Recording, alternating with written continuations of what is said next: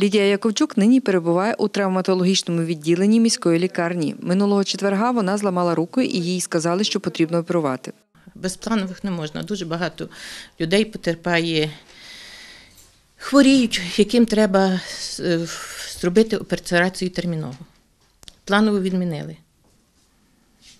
А може людина і не дочекатися. Я вважаю, що треба, щоб робити операції планові, тому що це не, неправильно, що відмінили. Медичний директор Михайло Соболь каже, від відсутності планових операцій страдає в першу чергу хворий.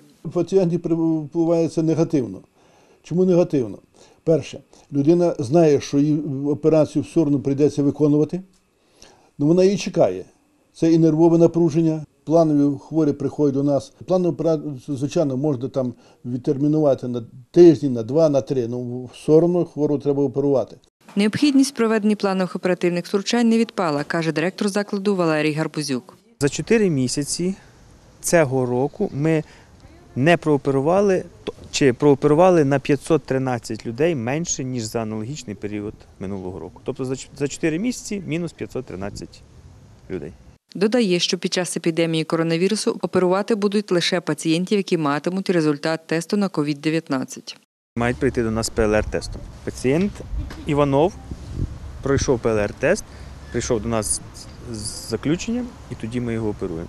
Поки що цей механізм не відпрацьований. Начальник управління охорони здоров'я Хмельницької міської ради Борис Ткач каже, постанова Кабміну вносить певні зміни. Постанова е, Кабінету міністрів, яка вчора вийшла, яка вносить зміни до попередньої постанови, вона передбачає не просто тестування, а виконання полімеразно-ланцюгової реакції. І тут е, наразі є трохи дисонанс такий е, законотворчий. Полімеразно-ланцюгова реакція ПЛР виконується тільки е, пацієнтам з підозрою на ковід. Говорив сьогодні з нашим головним.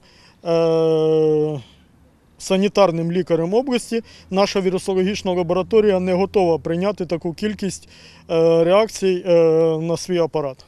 Додає, що сьогодні від планових операцій залежить фінансування лікарень. Гроші йдуть за пацієнтом. Е, Відповідно, під час карантину ми не могли е, обслуговувати пацієнтів, в той же час заклади втрачали свої кошти. Тобто зараз відновлення це потрібно обов'язково.